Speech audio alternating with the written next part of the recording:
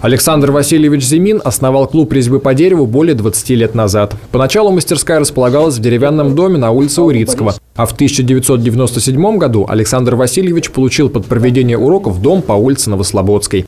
И с тех самых пор здесь ребята под руководством своего наставника обучаются азам деревянного зодчества. Обычно в группе собирается около 15 человек, и, что немаловажно, занимаются дети совершенно бесплатно. Кстати, помимо школы, мастерская уже давно превратилась в настоящий музей. На стенах висит коллекция масок шаржей знаменитостей, которая, по словам Александра Васильевича, насчитывает больше трех сотен штук.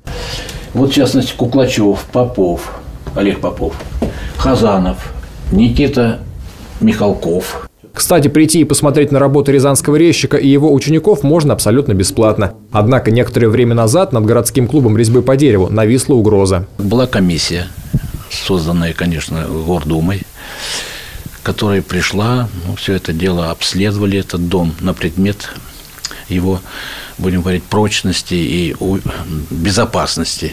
Значит, я считаю, что да, действительно, дом требует капитального ремонта на некоторых участках этого дома. Вот. Администрация идет навстречу, она предлагает мне новое, любое другое помещение, ну, в смысле, разговор такой был, предложения были такие. Конкретного не было сказано, где, что. Но, тем не менее, они ищут и найдут, если необходимо. Но мы хотели бы остаться в этом доме, здесь мы давно давно-давно и привыкли, нас люди знают. Капитальный ремонт столетнего дома, как считает руководитель клуба, действительно нужен. Необходимо заделать трещину на фасаде, поменять крышу и заново провести электропроводку. Сейчас занятия по резьбе временно приостановлены. Тоже сделали предложение такое, что мы своими силами попытаемся отремонтировать этот дом.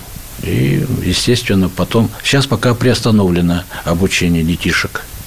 Ну, такое предложение мне поступило, что я всех оповестил, всех, кто, ребята, ходили сюда на занятия, они поняли ситуацию, так что ну вот, как только мы сделаем, отремонтируем это все, опять будет комиссия, и я думаю, что все будет нормально, и мы будем жить и, и радовать себе, и людей. Средств на ремонт, конечно, не так много, однако спасти клуб просто необходимо, ведь резьба по дереву – это как сохранение традиций народного зодчества, так и передача навыков и приемов мастерства молодому поколению. Да и к тому же выставку музея деревянных фигурок ежегодно посещают множество горожан. Помимо этого, резная мастерская Александра Зимина запросто может стать центром привлечения в том числе и туристов. В общем, причин для функционирования городского клуба резьбы по дереву значительно больше, чем для его простоя.